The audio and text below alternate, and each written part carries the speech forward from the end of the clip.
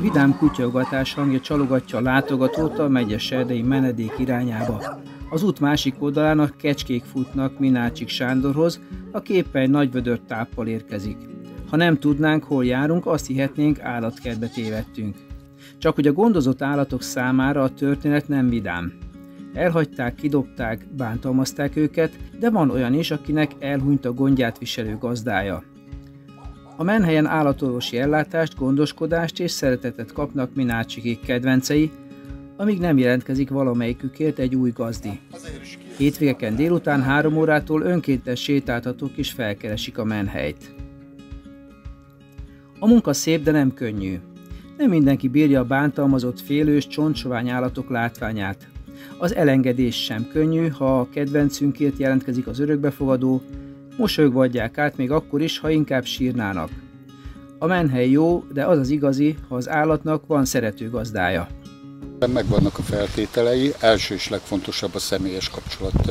Nem adunk úgy kutyát, hogy valaki mondjuk kinézi a honlapunkon vagy a Facebook oldalunkon, és, és megtetszik neki, és akkor elevelezzük és oda küldjük, tehát mindenféleképpen meg kell bennünk keresni. Természetesen ügyelünk arra, hogy megfelelő kutyát megfelelő gazdinak adjunk, tehát lehetőleg azonos energiaszintjük legyen, tehát mondjuk egy, egy nehéz mozgásképességekkel rendelkező idősebb embernek nem adunk egy olyan kutyát, amelyik pörgős, amelyik nagy testű, amelyik kár tehet bent. Nem adunk például kutyát ajándéknak, tehát születésnapi vagy, vagy akár húsvéti ajándéknak.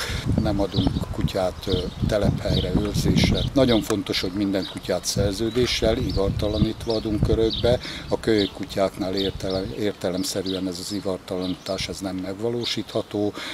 Ezeknél ivartalanítási kötelezettség van, amit mi szigorúan ellenőrzünk, és ha kell, visszavesszük a kutyát, ha ezt a feltételt nem teljesíti az örökbefogadó. A működési területük Sárvár, Celdömölk, Sümeg és Devecse járás területe, de ha van hely, máshonnan is fogadnak állatokat. Együttműködnek más egyesületekkel is, többek között az Ajkai Vahúrral, amelynek vezetőjével Antal Laurával is jó a kapcsolat a Sándoréknak. A Devecseri állatmenhely vezetője elismerően szólt Lauráik szakmai munkájáról és lelkesedésükről. Minácsik Sándor korábban foglalkozott kutyatenyésztéssel és kutyaiskolával is, később az elesett állatok felé fordult a figyelme. Magánszemélyként is mentett állatokat, de rá kellett jönnie, hogy a minőségi munkához szervezeti keretek szükségesek. Négy éve létrehozta a Sávár és Kemelsaja mentett kutyáért alapítványt, majd miután Sávron nem sikerült megalapítani az által tervezett menhelyet, Devecserben a Megyes Erdei Menedék Alapítványt.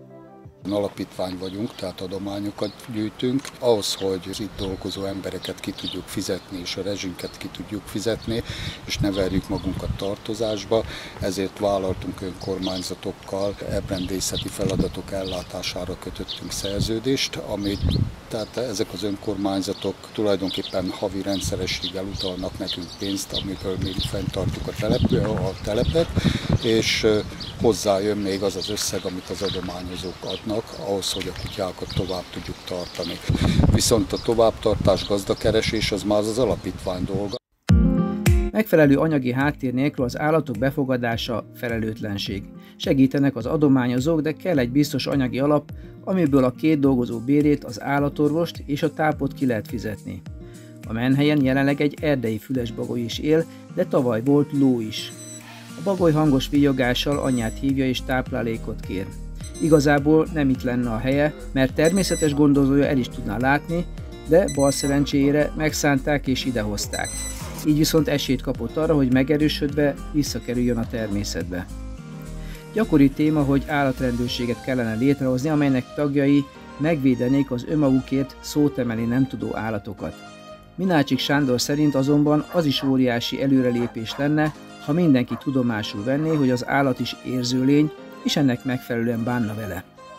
Az állattartás felelősség és komoly anyagi terhet jelent.